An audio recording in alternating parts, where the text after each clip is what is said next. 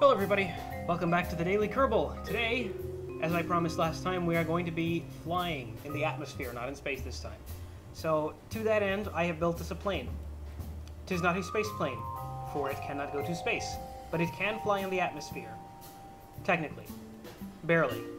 I hope. I wouldn't know because I haven't tried it yet, but um, aerodynamics are, I believe, one of the things, one of the many things that have been changed since I played the game, so I hope this little thing can work. It's a small one-man airplane, and it's designed to complete those contracts that we picked up last time. We're going to need a temperature reading, so it's got a little uh, thermometer up there, and it's going to need, well, just to get a crew somewhere. I chose the ones that are below 18,000, uh, you know, below a specific meter, because we're going to be flying roughly around like the 5,000, 8,000 meter uh, domain, more or less.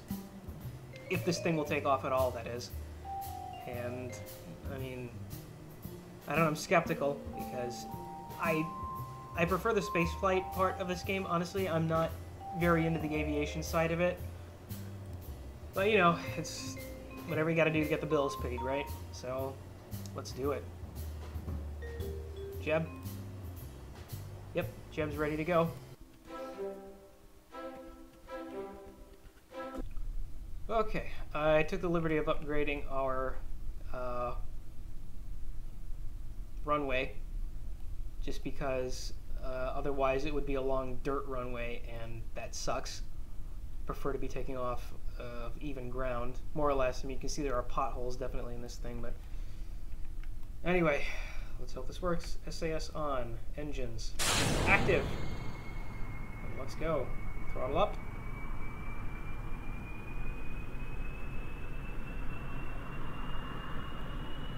Very slowly gaining speed. Hope you don't mind, by the way, that I uh, designed the airplane off camera this time, just because flying, if I recall correctly, does take a while, and I decided that this is where I'm going to try and cut off, cut off on this episode. I'm going to wait till we get up to like 80,000 meters per second, maybe, before I start trying to pull up. There we go. Okay, pull up. Come on. No, we're wobbling. Don't wobble, please. Don't wobble. Okay, new plan. I'm just going to try and run us off of the runway. Let's see if we can't glide from the... Oh, oh, oh, we're doing it. We're flying. okay, good. We're in the air. Now that we're in the air, I'm going to go into our map and activate our navigation to take us here. Okay, so let's go there.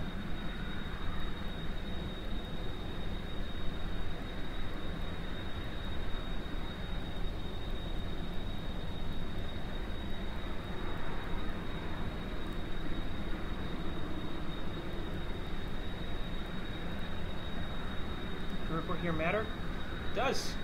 Flying over Kerbin's water, transmitted. What about the temperature reading? That does too.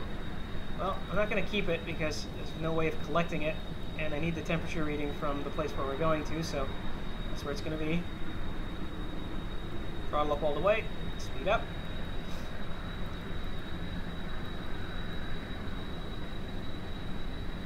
Make sure we're always going upwards.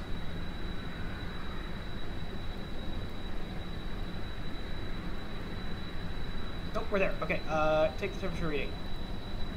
Take it. Alright, keep that one. Now, we're gonna go to Human's Gambit. Eoman's Gambit. So, let's pull over. Turn around. It's going a lot more smoother than I expected. That zone was unbelievably large considering that its center was somewhere right around that, uh, that island over there.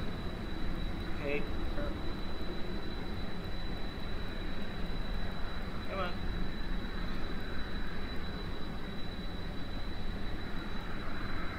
I really do need to get a hang of this aviation thing because later on we're, we're going to be performing one stage to orbit flights, you know, if that ever does occur. And mastery of this part of the game is going to become crucial.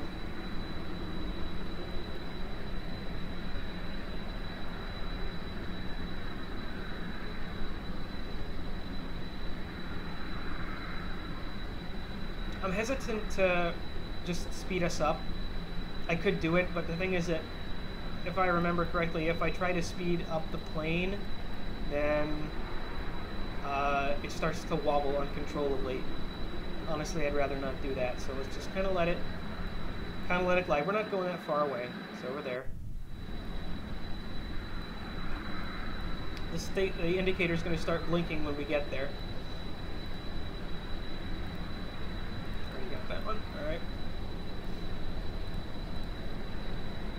This System of gathering the temperature measurements has been indispensable. Thank you. You're welcome. Already made back the price of the, the airplane that contract. That's good.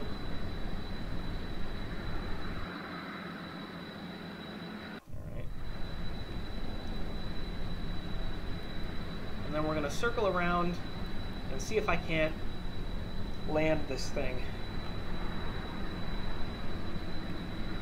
Pretty much every pilot will tell you flying's easy, it's landing that's hard. Takeoff and landing is where the majority of airplane accidents occur, and I did not design this uh, airplane with a countermeasure to, you know, there are no ejector seats on this. There we go, Ewan's Gambit, take the crew report. There we go. Keep that. So you can go ahead and transmit it. Alright. It was over the grasslands. I don't think we're going to be doing anything else. I'm going to head out straight a little bit so I can get a good approach to the landing pad, to the runway. And I'm going to attempt to perform a landing.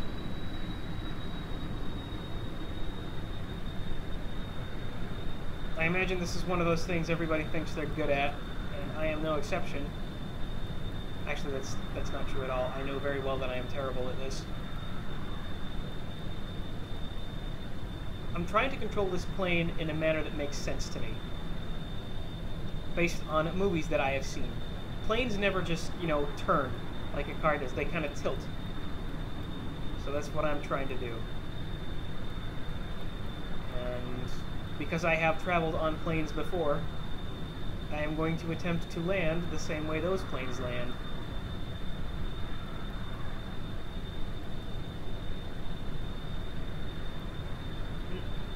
Okay, we're, we're going, down. Try and pull our nose back up a little bit. Don't need that much thrust And I'm going to start turning now. Approach the landing zone. Try to line us up with the runway as straight as possible.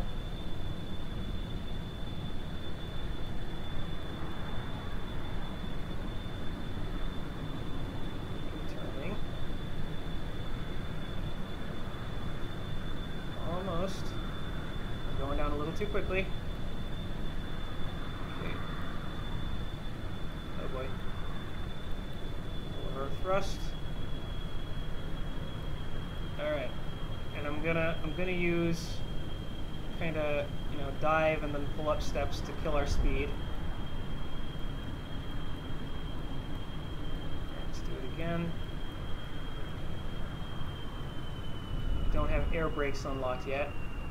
We were going at uh, 80 meters per second to 100 meters per second while we were on the runway, so that's what I want to slow down to. Pull up kill our engines almost.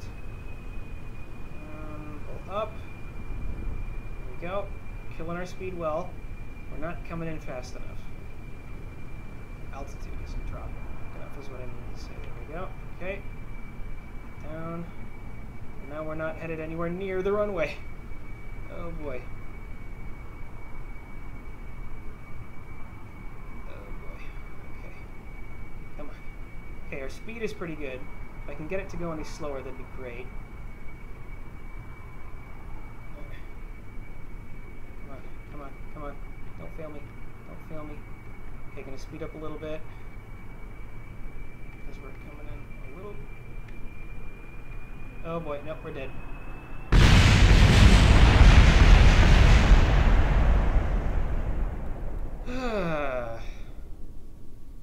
Well, you know they say, any landing you can walk away from, that's a good one.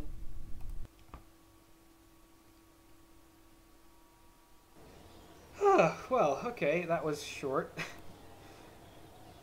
we did get the contracts complete. I'm going to obviously have to work on that landing. We're going to be doing more aviation in the future, I imagine.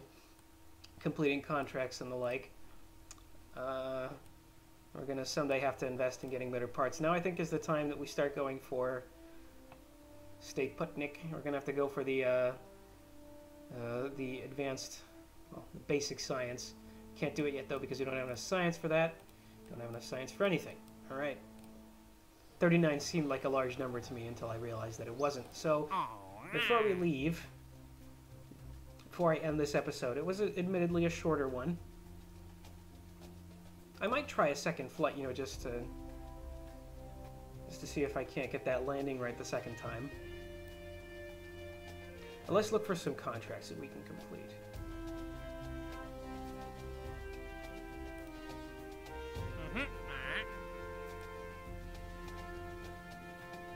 Carrying uh, tourists at this point is fairly easy. Especially since all they want to do is suborbital spaceflight. I can do that easily. In fact, I think we should do that. Yeah, I'll take two of these. Both of these want a suborbital spaceflight. And then the next, uh, next episode, when we play the game tomorrow, I will design a spacecraft designed for carrying two tourists to a suborbital spaceflight. Thank you very much for watching, everybody. Uh, feel free to voice your likes or dislikes of the video uh, in whatever fashion YouTube's toolset allows you to. Subscribe if you want to see me Uh, play more Kerbal Space Program in the future, and I will see you next time. Bye-bye.